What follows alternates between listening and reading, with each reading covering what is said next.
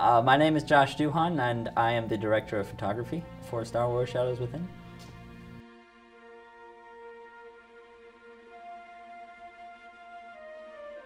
Well, as a kid, I always watched a lot of like 80s and kind of 70s movies, and I just kind of grew up with that. And Star Wars is one of the greater ones, and I think really what I love about it is how drastically different it is from all the other movies. For instance, like it's the first one where the bad guys actually win in the end, and um, overall, though, I mean, it's like it really brings in a sense of mystery and belonging into the world because it's, it's like um, I mean, it's almost like there's this force in it, and life creates it and makes it grow.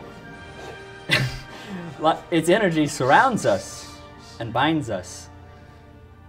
And luminous beings we are, not this crude matter. Oh my god, you're the whole thing! And, it, and yeah, that's, that's what I like about it most. It's really just that mystery. Uh, the promo, I actually, I really like the promo. Um, of course, there's things that I, I see that are like, that I'm critical of, but I think that's why it's so good actually, is because we can look at those things and we can, we are so critical of it, even though it is so great. We, we're always constantly looking to improve upon what's already there. Um, I'm looking most forward to this one scene that we have in an alleyway because I am just ecstatic about lighting this really large scene on the scale that we plan on shooting with and that's just that's something that uh, be personally just great for me. My favorite character is Grand Moff Tarkin because that man is just so efficient. Um, he does everything, you know, by standard, and um, I mean he's he's ruthless, really, because like I mean even when Princess Leia, or at least when he thought that she had given up the the location of the rebel base, he decided uh, blow it up anyway. Goodbye, Alderaan.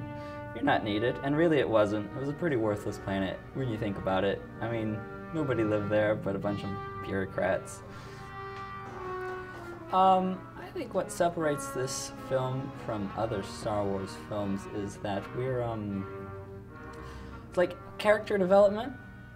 Because, uh, I mean, I watch a lot of other Star Wars things on, on the internet. Most people are real concerned about the lightsabers, and they have they have plenty of effects and they go all out and they do the lightsabers like normal but like i think we're actually adding like a, a story to it and we're not as concerned about the lightsabers i think it's uh, an effect like normal and those effects need to be used sparingly and um, and not so much just because we can um, i think the story is overall the most important thing and whatever we can do to serve that is what we should aim for Okay, why, why did you why did you come on board to this project? Well, um, one, because I love Star Wars, and two, because I really enjoy working with everyone who's on this crew, and anything I can do to help improve such a great, aspir, you know, um, aspiring project, I would, um, I relish in that kind of opportunity.